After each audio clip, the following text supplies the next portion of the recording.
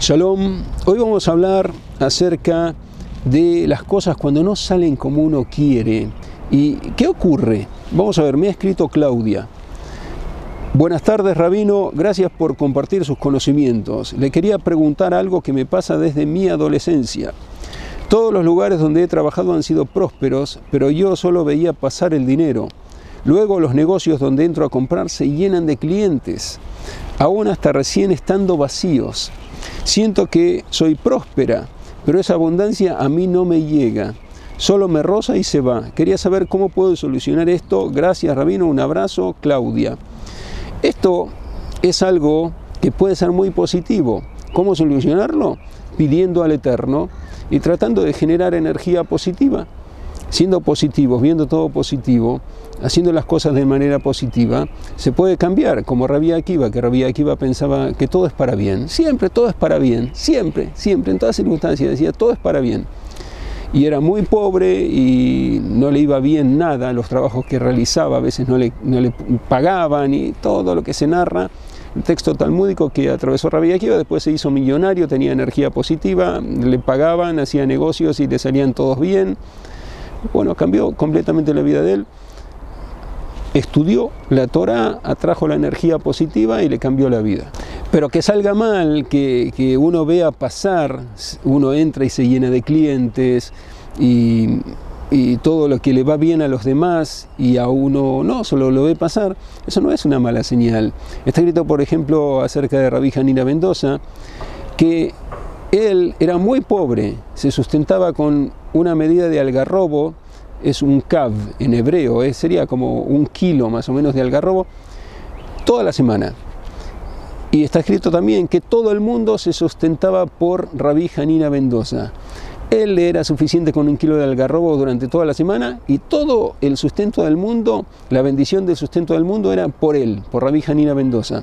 Era una persona que le gustaba ayudar a los demás y preocupaba mucho por ayudar a los demás y por él no se preocupaba por conseguir, incluso realizaba operaciones empresariales. Una vez encontró dos gallinas y pusieron huevos, vio que no eran de él, las empezó a cuidar hasta encontrar al dueño, pusieron huevos, nacieron pollitos, le llenaron la casa y la casa de él era pequeña, no sabían qué hacer.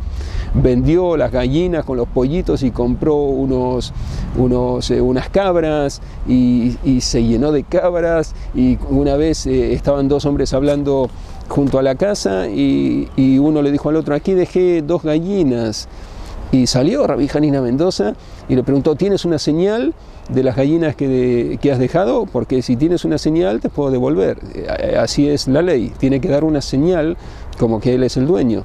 Y le dio detalles, sí, las gallinas tenían tal característica especial. Bueno, le dijo a Rabí Janina Mendoza, aquí tienes todas estas cabras, son tuyas. ¿Y cómo? Sí, ha ocurrido esto. O sea, que sabía realizar negocios empresariales también. Y, pero para él no, se ocupaba de eso, vivía con un kilo de algarrobo, en la fuente de bendición del mundo. Y él le pasaba por al lado todo, incluso la esposa se quejó, Janina, ¿hasta cuándo vamos a seguir viviendo la pobreza? Rabí Janina dijo, ¿qué quieres que haga? Y pide al cielo que nos manden algo. Y pidió a Rabí Janina, le enviaron un trozo de oro y después tuvieron un sueño, se enriquecieron con eso, pero tuvieron un sueño, la esposa y, y Rabí Janina le contó, Rabí Janina le dijo, mira, ¿qué quieres? En el futuro todos van a comer en mesas de tres, patas que se sostienen, son los tres pilares del mundo. Y, nosotros vamos a comer en una mesa de dos patas. ¿Tú quieres eso? Porque le habían dado una pata de oro de, una mesa, era la pata que iba a faltar, que son la Torah, el estudio de la Torah, el servicio a Dios y el trabajo y las obras de bondad, los tres pilares del mundo. Nos va a faltar una pata, vamos a comer una mesa una pata faltante. Entonces la esposa dijo, bueno, si es así que en el futuro nos va a salvar nos faltar una pata de la mesa y vamos a tener una mesa carente, devuélvela a esa pata de oro y quedémonos como estamos en la pobreza. Y ocurrió un milagro que, que esa pata desapareció de oro y de, los cielos se otorga la bendición, pero que lo tomen nuevamente es algo que no ocurre tan frecuentemente. Todo ese poder tenía Rabí Janina Mendoza y él veía pasar todo, no se quedaba con nada, solo un kilo de algarrobo de, de semana en semana. Vemos que eso de que a uno no le llega la bendición, pero uno fuente de bendición, eso es bueno. Pero uno quiere cambiar eso, que haga como Rabí Akiva. Progresó, se puso a estudiar la Torah, cambió la energía que le impedía tener por energía que le permitió gozar de mucha prosperidad, de mucho dinero, de mucha riqueza. Rabbi Akiva quería darle a la esposa todo, porque la esposa abandonó un, hogar que era muy rico por él, porque por Rabbi Akiva, porque el padre dijo que si te casas con ese campesino yo te desheredo y no le permitió vivir en la casa y, se, tuvo, eh, se fue a vivir con Rabí Akiva, la esposa Raquel, a una gruta y no tenían nada, se tapaban con, se cubrían con paja. Era algo muy precario y Rabí Akiva le dijo, mientras le desenredaba la paja que se le pegaba a los pelos, decía, si en el futuro voy a tener dinero, te voy a comprar una Jerusalén de oro, que era un adorno muy importante. Y finalmente sí, fue a estudiar, eh, aprendió a traer energía positiva y, se enriqueció, se enriqueció, le compró la Jerusalén de oro, un adorno muy bello, y tenía las mesas de, la calidad más selecta de oro y escaleras muy selectas, las sillas, todo. Rabí Akiva era un hombre rico después. ¿Y por qué? Bueno, él hizo el esfuerzo para cambiar y con dedicación, hizo los pasos indicados, estudió la Torah y siempre pensó para bien, eso lo tenía desde antes, siempre pensaba para bien.